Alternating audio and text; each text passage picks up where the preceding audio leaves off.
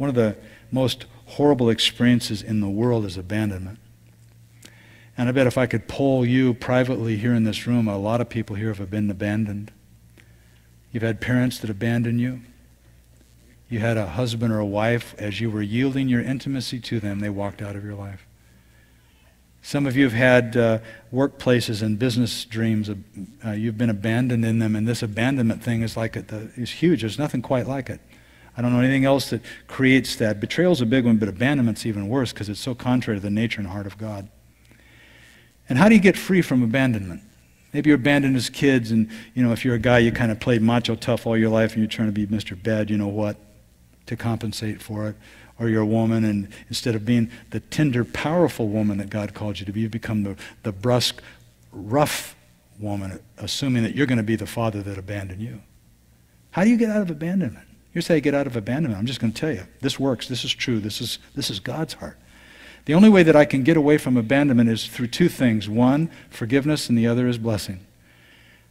When Jesus hung on the cross, had nails in his hands and wrists and feet and all that bloody, gory stuff, and stuck in his side, and had thorns stuck in his head and given sour stuff to drink, all that pain and the compression of his lungs, he couldn't get a good breath and he was being murdered, if you will. Right in the middle of all that pain, what did he say? Father, forgive them because they don't know what they're doing. He didn't wait to feel like forgiving anybody. That's your model of forgiveness. If you're going to wait to feel like forgiving somebody, you will never, ever forgive anybody. Forgiveness has nothing to do with how we feel. Forgiveness has nothing to do with whether the person we're forgiving is ever going to repent about it. Forgiveness sets us free to move across the river. So I, I have people in my life that, that uh, have abandoned me, and, I, and i struggle with the faithfulness of God in that. And God says to me, Now, Garris, I want you to forgive them. I had one instance, uh, it, it also is in the book, about just eight years of forgiving a leader early in the ministry that had severely wronged us. And I remember the, the, day the Lord had us get down on our knees when we got the phone call of what was going on.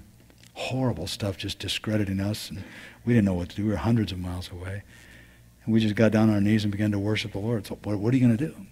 Out of control. Just worship the Lord. And the Lord says, Here's what I want you to do forgive him right now, and I want you to start blessing him. Now, I didn't know it was going to take eight years. Eight years. Every time I thought of the guy, I blessed him. Even when he was still screwing with our life. Blessed him. Blessed him. Every time it came to my mind, I blessed him. I forgave him, chose to, didn't feel anything at all. It was just a painful thing to do. Every time I thought about him, eight years later, he had us over to his house for dinner.